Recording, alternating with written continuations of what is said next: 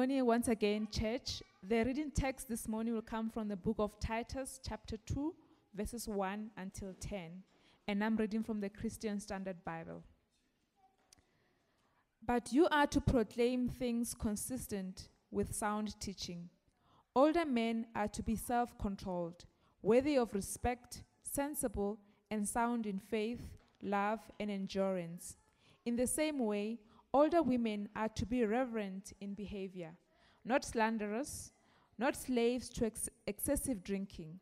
They are to teach what is good, so that they may encourage the young women to love their husbands and to love their children, to be self controlled, pure, workers at home, kind, and in submission to their husbands, so that God's word will not be slandered. In the same way, encourage the young men to be self controlled in everything. Make yourself an example of good works with integrity and dignity in your teaching. Your message is to be sound beyond reproach, so that any opponent will be ashamed, because he doesn't have anything bad to say about us. Slaves are to submit to their, to their masters in everything, and to be well pleasing, not talking back or stealing, but demonstrating utter faithfulness, so that they may ad- adorn the teaching of God, our Yeah. Savior, in everything. This is the word of the Lord. Praise be to God. Today is a difficult sermon. It's difficult to preach. It's going to be difficult to hear. It's difficult to accept. It's difficult to digest. It's difficult to apply. And I want you to prepare your hearts. I want you to prepare your minds. I want you to prepare your ears to receive this very difficult word. I've been doing so this whole week as I've read this passage and as I've studied the scriptures. There will be good news, I promise. There always is. There's abundant grace. We are gospel centered church, fam, so we'll get to the good news. If you're a believer, what I'm about to preach is a mirror to you. And you will have to do the work of applying it to you. I am going to teach it as it is. And then you will have to listen to the Holy Spirit's conviction. My prayer this morning is that you will once again experience the privilege of being called to this life and that you'll experience the privilege of living a life of grace.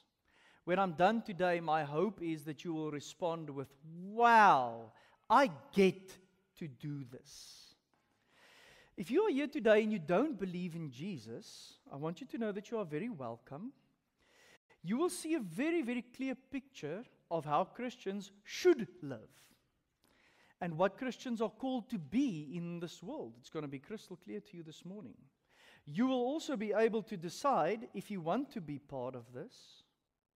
And you will be able to reflect on the lives of Christians you know to see if they are the real deal. That's what you'll be doing today or listening to.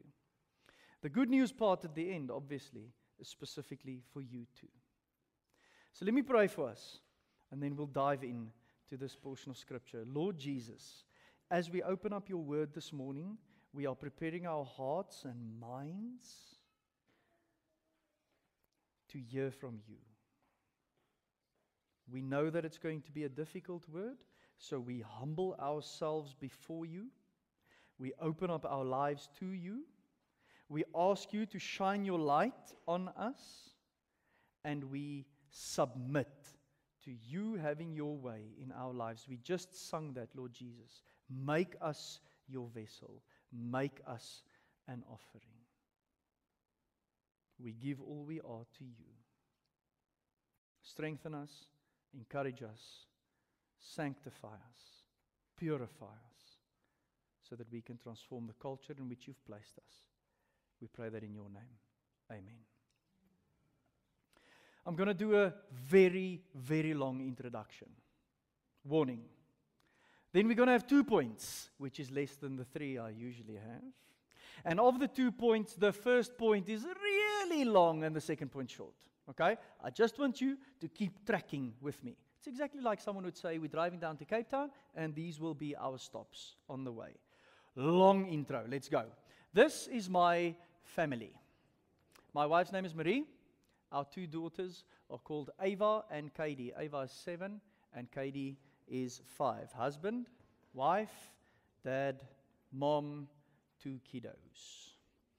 I am baptized and I also confess my faith in Jesus Christ. I'm a Christian. My wife also confesses her faith in Jesus Christ. She's also baptized. Both of our kids are baptized. And I think if you press both of our kids now, they could actually give a really good account of what they believe. So Ava would be able to say the gospel and then also say that she believes in the gospel. So we, we can call her a believer. And Katie, at five years old, always starts her prayers with, Thank you, Lord Jesus, for dying on the cross and forgiving our sins. So that's kind of a good grasp of the gospel already at the age of five.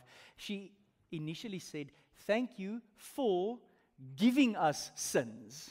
And we were like, no, no, no, no, no. Look, forgiving, forgiving. It's one word, not thank you for giving us sins. Thank you for forgiving our sins. In Afrikaans, she prayed, dankie dat u ons sondes gegee het. And I'm like, no, no, no, no.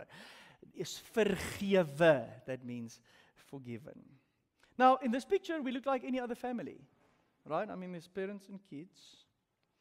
But by our lives and conduct, you will see our allegiance to Jesus.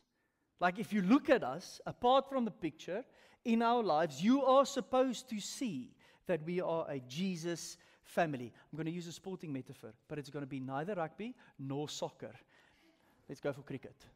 Okay? I mean, we do live very close to Supersport Park, the home of the Momentum Multiply Titans. If you support the Momentum Multiply Titans, if you are really a fan, you will know them, you will attend the games at Supersport Park, you will rejoice when they win, you will lament when they lose. You will show your support when your support is called upon. You'll wear the jersey. You'll go to the games. True? Now, let's say I say that I'm a Momentum Multiply Titans fan, but I don't know a single person in the squad. I've never watched a game. I've never been at the stadium. I don't know the results as they came out. Am I really a fan? Now, in terms of sport, you'll say no. You'll say to me, I can see that you say that you are a fan, but you don't act like it at all. Something was wrong in Crete, right? The place where Titus is working. And Paul addresses that thing that is wrong in this letter. This is what was wrong in Crete. Christians said that they were Christians, but they didn't act like it. They weren't the real deal. Screenshot from the Bible Project's uh, overview poster. We're going to work through it slowly because if you get this, you'll understand the teaching text and why it's so difficult for us to work through it. So let's work through the screenshot really, really slowly.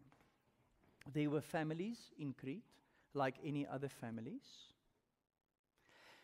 and they acted Cretan but they said that they were followers of Jesus. And the result was confusion. Okay, so look at it. The present reality was that you had employees not honoring their bosses.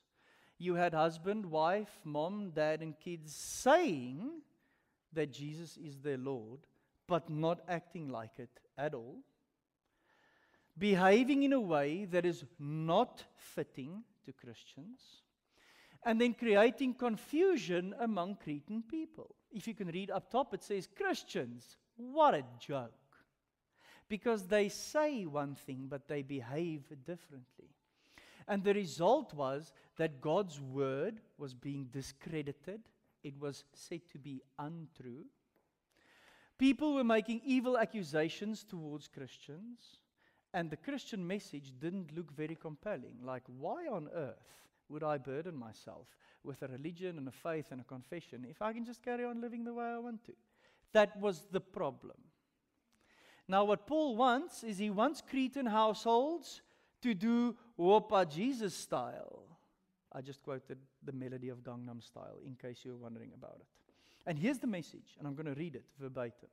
The gospel must prove itself in the public square. Christianity is compelling when it looks culturally similar, but is based on a different value system and devoted to a different God. So you still see husband, wife, mom, dad, and kids, but they look different in their conduct and in their behavior and in their values and in the God they worship. So culturally, they look similar, but in behavior, they look different. So the result was that it, doesn't, it didn't seem like the Christian faith had any implications. It seemed like you can say, I'm a Christian, and then carry on with your life, and that's quite okay. Paul wanted the culture to be transformed. We call this series Transforming Culture because we also believe that in this current time that we are living in, our lives and our behavior and our conduct can actually change this place. It's really exciting. I'm in it. Who's with me? Like, I'm in it for the rest of my life. Let's change this world by being proper job Christians. Now, when we read this teaching text, I'm almost done with the intro, but I said it's going to be a long one. When we read this teaching text, we should pretend as if we just got into a time machine and we traveled 2,000 years into the past, and we got out in a world that works in a very different way than our current world. And the reason why I'm saying we should think this way is this text mentions families, it mentions households, but it worked in a very different way than our families and households today. Let me put down some important cultural markers. You would have gotten married between the age of 12 and 15 in this century. You also would have had your first kids between 12 and 15. Because once you got married, the expectation was that you would have kids. And you got married when you became a man, and when a woman became a woman, and then they could conceive a child. That means that in the first century, you could have been a grandpa at 30. Okay? That's really important for us to remember. When I turned 30, Ava, our first child, was three months old if I lived in the biblical times, Ava's first child would have been three months old. Okay, so it's a very different world. They had multi generational households, sometimes three and four generations in one house, and everyone had access to one another because everyone saw one another because the houses were really small. Rudolf, do you have the photo of uh, the archaeological excavations in Capernaum? Is it not there?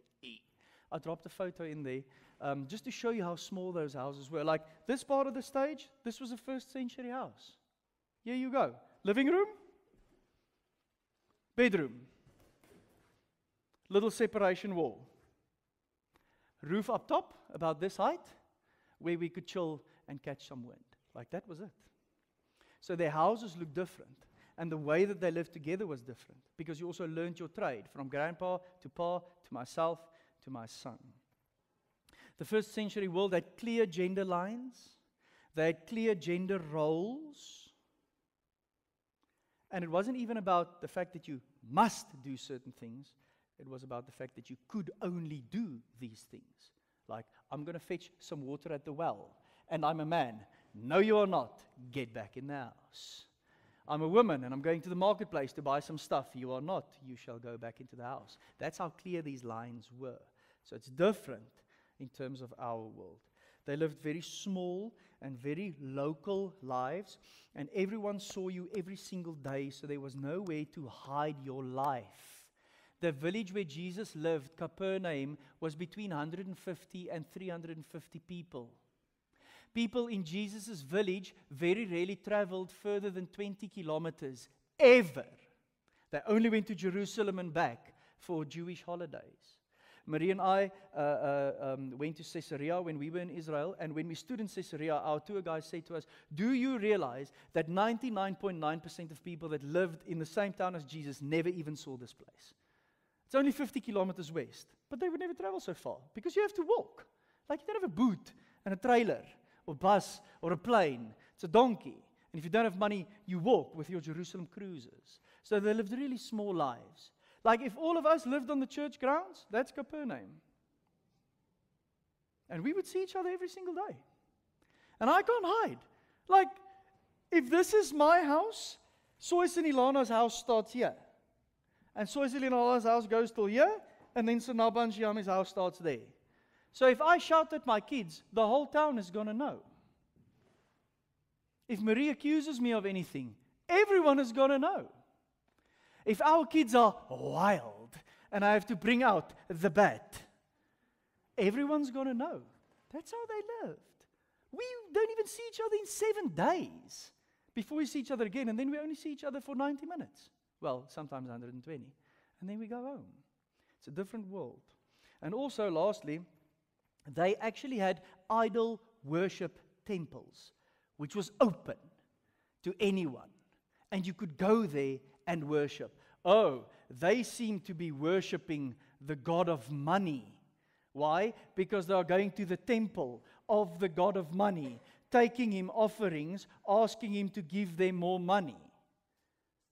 Don't know about you, but when you walk around in Menlyn, you can also be worshiping money, but we wouldn't know because it looks like you're shopping. If you lie on the couch and you watch mindless programs on a streaming service and you're worshiping celebrity culture, how would we know? Because it looks like you're just watching a movie. But in those days, it was open to everyone. So we have a way of hiding our idols. They are there, but we're hiding it. No one knows what I covet when I browse on my telephone because it looks so normal. In the first century, like you coveted with your own eyes, looking at the thing. There wasn't the auto trader that could show me what the new Fortuner looks like. You know what I mean? Like I would have stood next to the new Fortuner, coveting it right there. You would have seen it. Okay. So the world to which Paul writes are different. Now, I want to show you, and then I'm going to end the intro. Who does he talk to? Two slides. What should they do? Two slides. And why should they do this? Also, two slides. So let me just show you quickly. Bold and underline, first one. He's talking to you, that's Titus, the leader of the church. Second one, older men. I'll tell you who they are. Older women, young women. Next slide. He's also talking, please, Rudolf, sorry, next slide, please. He's also talking to young men. Then he's talking to Titus again, yourself. Then he's talking to Titus again, yourself or your, and then he's talking to slaves. Okay, so that's who he's talking to. Now, just a note, I'll get there later. We're not talking about the wretched slave trade of buying people and abusing them and using them as if they were possessions. What Paul is talking about here is someone submitting to someone else for work, which I think a good translation for today is employee. Okay, next slide, please. This is what they have to do. It's quite a lot. Do you agree with me? Like, just look at the bold and underlines. There's a big to do list here. Next slide, please, Rudolf. It continues, full of bolds and underlines. Okay, so who he's talking to, I just showed you. I just showed you everything they have to do. Let me show you why they have to do this. There are three clauses in this portion of Scripture. The next two slides, please, Rudolf, with so that. Look at it. Why all of this to all of these people? So that God's word will not be slandered. We'll get back to it. Second one, please, Rudolf. So that any opponent will be ashamed. Third one, so that they may adorn the teaching of God our Savior in everything. How's that for an intro? Let me give you a summary. Here's a summary Titus 2, verse 1 to 10. Next slide, please, Rudolf. Is about people given instructions for very good reasons. Hey? That's concise and clear. And living in grace, which is our theme for today, and here's our two points for the sermon, means living a life of devotion to God, a life of godliness, and being a witness to the gospel. How do we live in response to God's grace? Now let's work through it slowly. One long point one short one, and we'll be done. Okay, let's go for it. So, to Titus first, Rudolf, if I can have uh, just verse 1 up again, please. He says, Titus, please teach the gospel of grace, like the teaching, the message. That's what you ought to teach. So, that's a really, really important guideline. That's also what we have to teach. Now, what's the summary of the gospel or the sound teaching? It is that we are unique in the sense that we are Christians, that we are the only religion that can sit under the verb done and not under the verb do. Think about it. If we have to arrange religions, we would have a massive group of do religions. I'm not saying anything bad to them, but that is what you do. So, to please God, you have to do stuff. And then there's one religion on this side that says you don't have to do anything, it's about what was done for you. And there's only one, and that's Christianity. So, the fundamental uniqueness of Christianity lies in the fact that it's a religion of grace and not of works. Now, Paul says that is what you teach. Everything else added onto Christianity is a lie. And lie is a theme, uh, is a theme through the whole letter. Do you guys remember Lesichel's intro? Saying that the very name Cretan means liar. And that's why Paul says, stick to the core message. Parents, you who baptized your kids today, this is what you should teach to them. This is what Christ has done for you and for us. That's the core message. Leaders at this church, this is what we should teach people. And then how that applies should be consistent with that teaching. It should correspond with that teaching. It should be in accord with that teaching. It should come from that teaching. Think about the Titans metaphor again.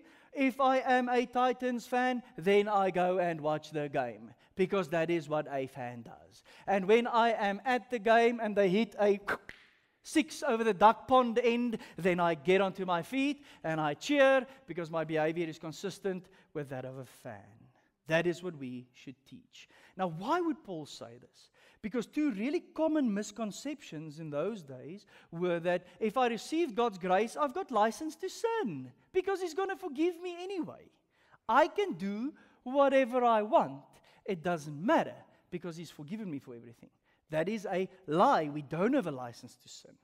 But then another misconception on this side was that I am now burdened with all these rules and regulations and things that I have to do. It's too heavy to carry for me. That's also not true of the gospel. What is true of the gospel is that I make a choice to be part of something and I commit to it, and then I deem it a privilege that I get to do this. My response should show that I value this. My marriage is a really good example. I chose to marry Marie. I want to be in this marriage. But when I get up in the morning, I don't say, Oh my word, I have to kiss her again. And I have to hug her again. And I have to make her coffee again. No, no, no. Fam, let me tell you. I get up and I look at her and I go, I get to kiss her. And I get to serve her. And I get to raise kids with her. It's a privilege. It asks everything of me, but my posture should be a value, a, a response that shows that I value this. And that's what Paul gets into. So as he speaks to all of these groups of people, this is what he's asking for is how do you respond to this beautiful grace that has been shown to you? Let's take the categories. Older men. Now, I mean, this is a difficult one because in the scriptures, the older men would have been grandpas or great grandpas already. Okay? So if Paul is writing to a 60 pluser, yeah, he's talking to someone who's already a great granddad. If you think of the 15 year gaps in which people got kids, okay? If you're 60 in these days, there's a chance that you're not even a grandpa yet, okay? And obviously, I mean, it's also possible that you don't even have your own kids. Now, what Paul says, I'm summarizing, but look at the scripture behind me and all the bold and underlines. We need a flesh and bone example of what this life looks like so that we can follow it. Look at it a life of self control, worthy of respect, sensible, in sound faith, love, and endurance.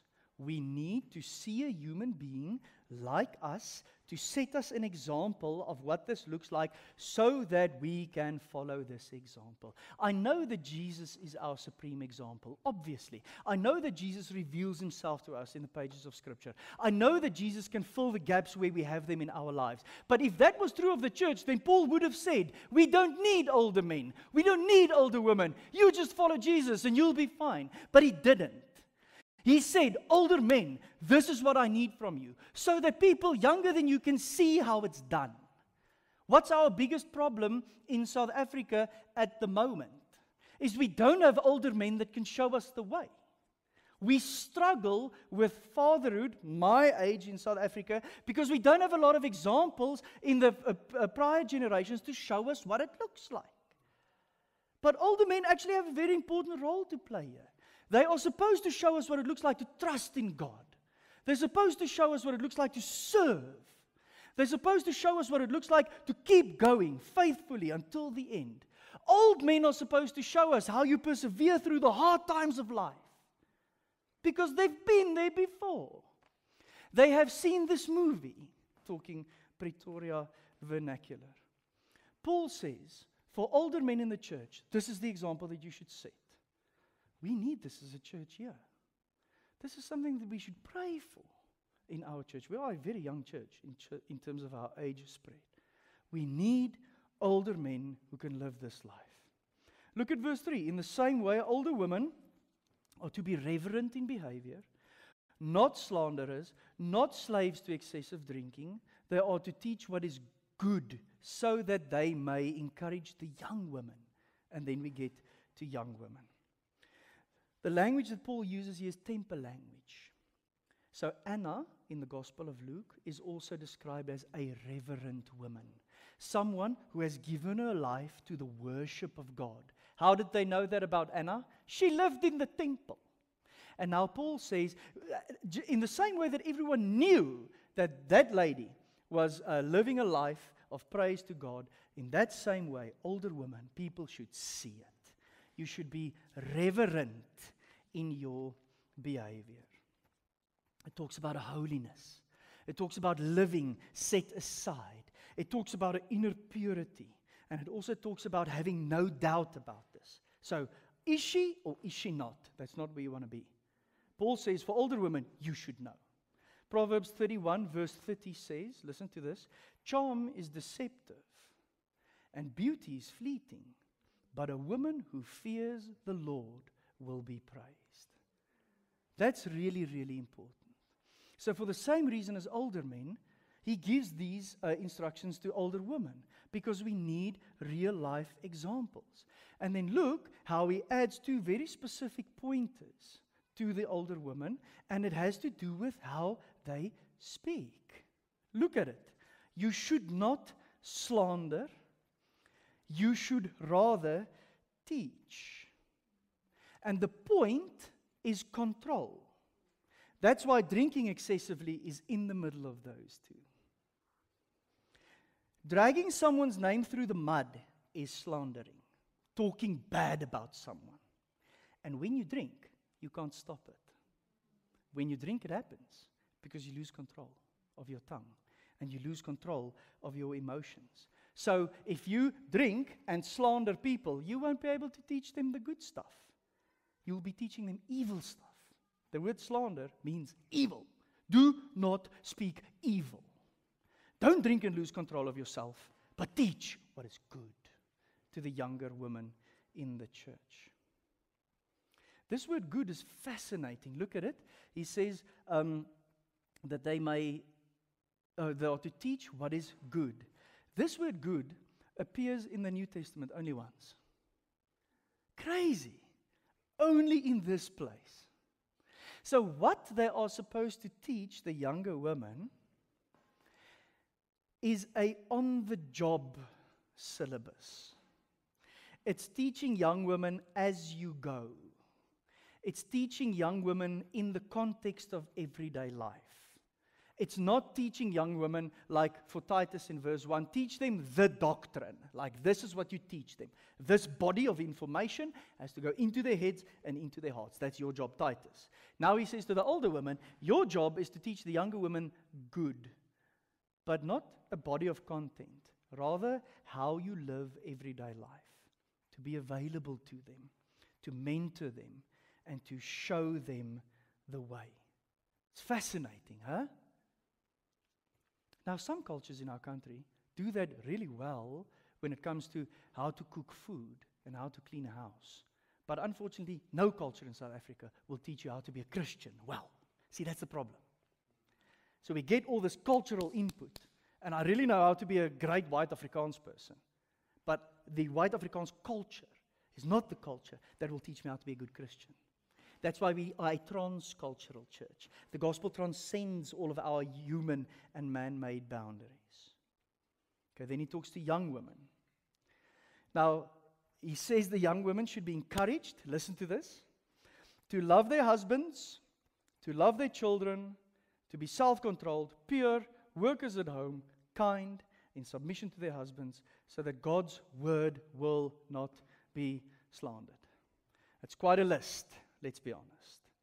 And the younger woman he's talking about here is people like my wife, Marie. So we're married already, but we're not grandparents yet. But we do have kids because he spoke about your, uh, uh, your husband and your children. The love that he's talking about here is an other centered love. It is a sacrificial love.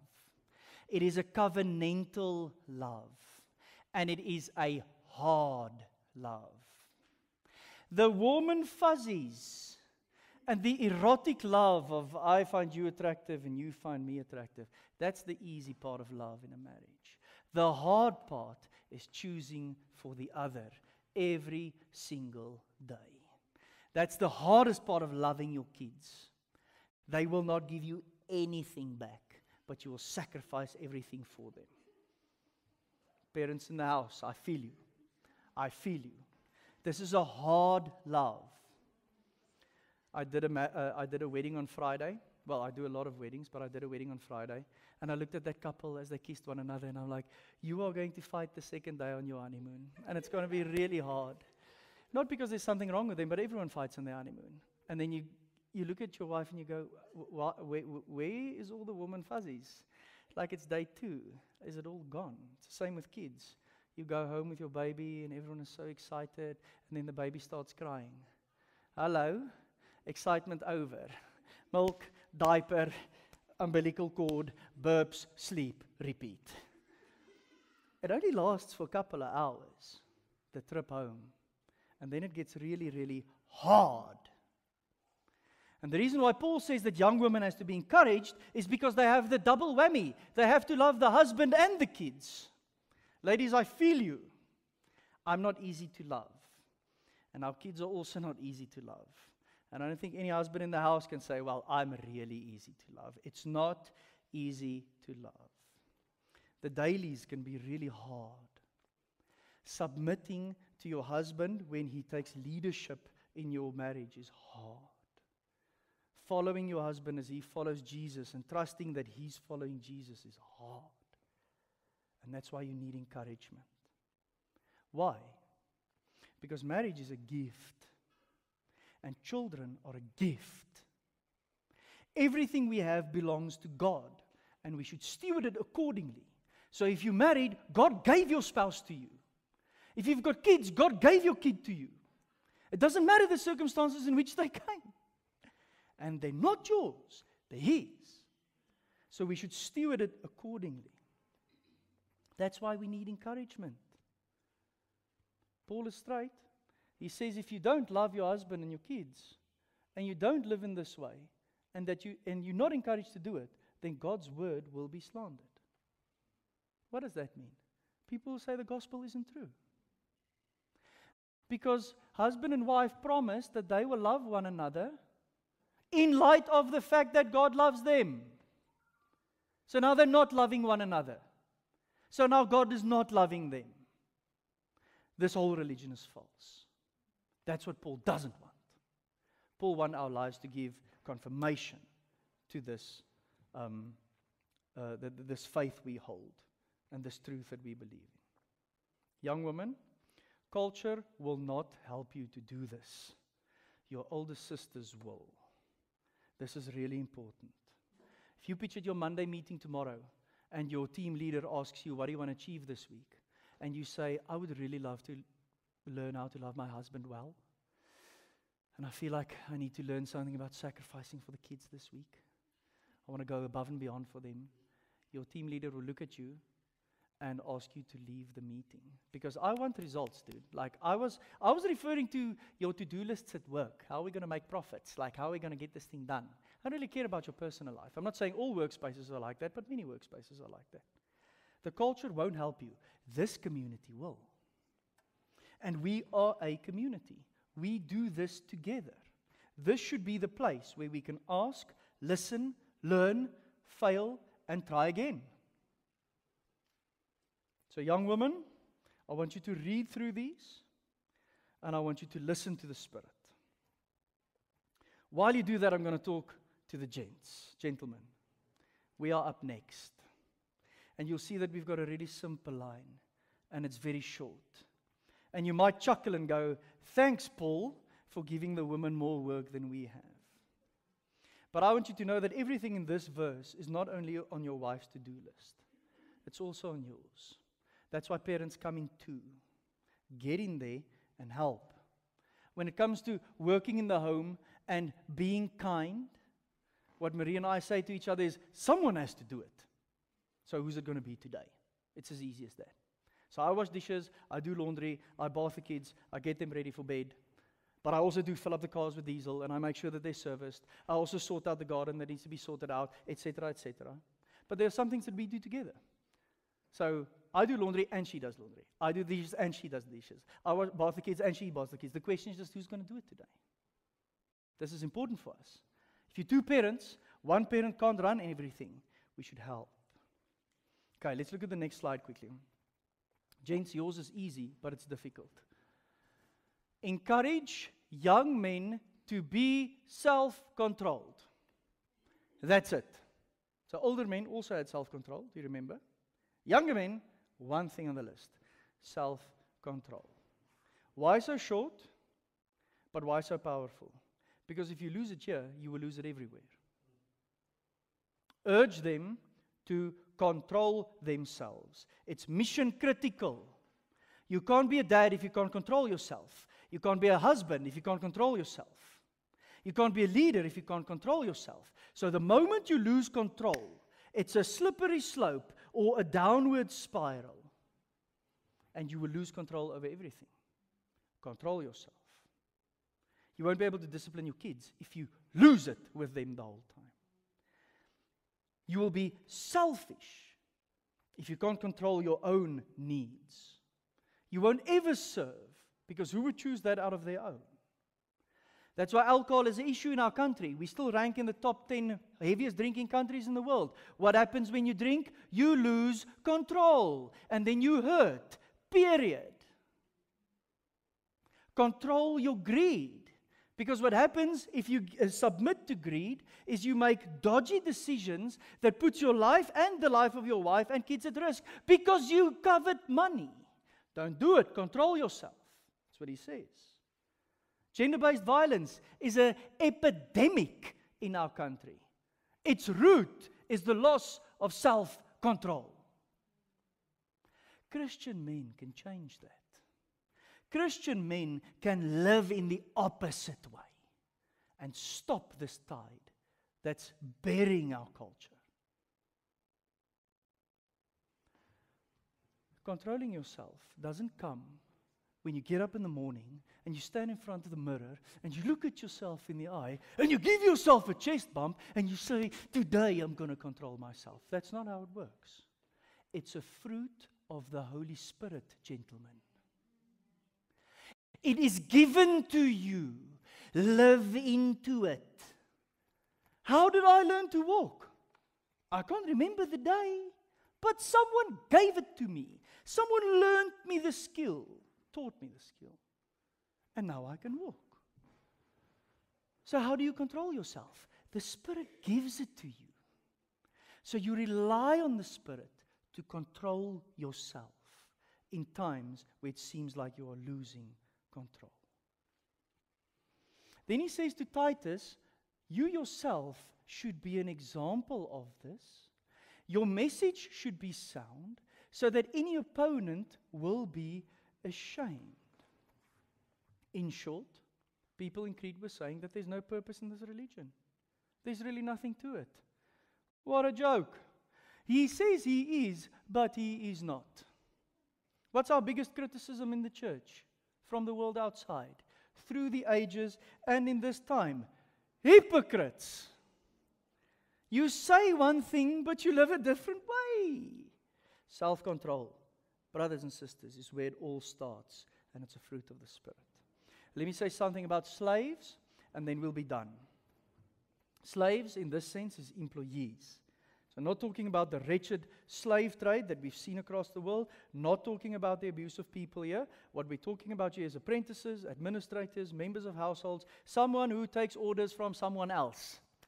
So, if you're not the boss today of whatever it is you're busy with, then you're a slave in this sense. Now, Paul says if you're a slave, then work in this way submitting to your masters. Obviously, it's not unbiblical and unethical, but submitting to your masters. Being productive, doing what you're supposed to do. Not being the rabble rouser at the water cooler, but getting your work done. Not stealing and demonstrating faithfulness. Why? Because if people see this, they will believe the gospel. I'll get to that now. So look at that, read it, reflect on it, and then let me just ask you a question. If I go to your place of work tomorrow and I ask your colleagues, How is she? Is that what they would say? Because that's what Paul wants. Paul wants this life in the workplace as well. People should say this person works as if they're working for Jesus. That's Colossians 3:23. Not as if they're working for an earthly boss. So living in grace means living a life of devotion to God. Massive first point. Are you with me? Can we do one quick one? Second point. Living in grace means being a witness to the gospel. It's an easy one. Listen to it. Point one was all about living a life to please God. Point two is about living a life to persuade others. Do you see the two P's? So we want to please God, but we also want to persuade others. What is a witness? A witness is someone who can give an account of what happened. What's a good witness? A good witness is the person with the truest version of the events. So you see a car accident, and people witness about what happened. Whose witness wins? The person who's got the best version of the events that's there. Then we believe what that person says. That's what Paul asks for. Let your life be a witness so that